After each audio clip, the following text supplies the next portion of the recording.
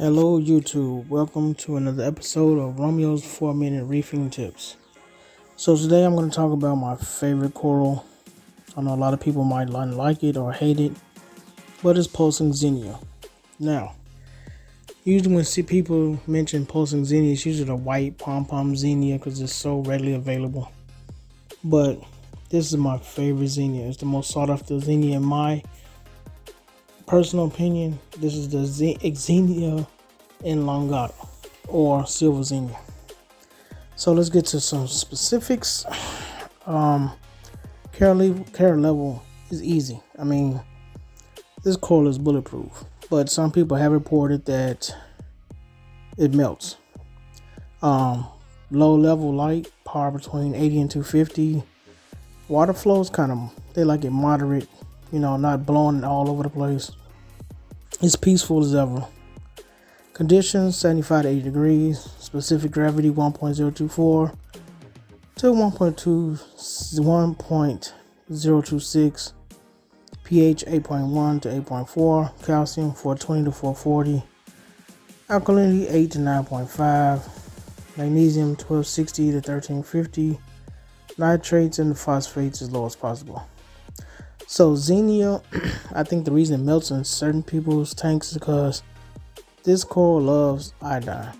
But if you got a good enough salt mix, you don't have to dose um, iodine and all that. Um, people say, well, it's a weed. It grows so fast. But,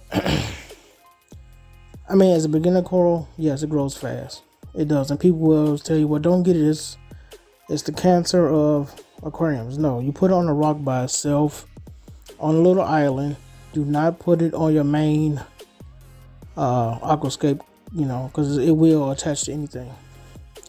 As far as reproduction, it just it reproduces reproduces by fission. Just new stalks will grow next to the uh, parent stalk or uh, on it actually.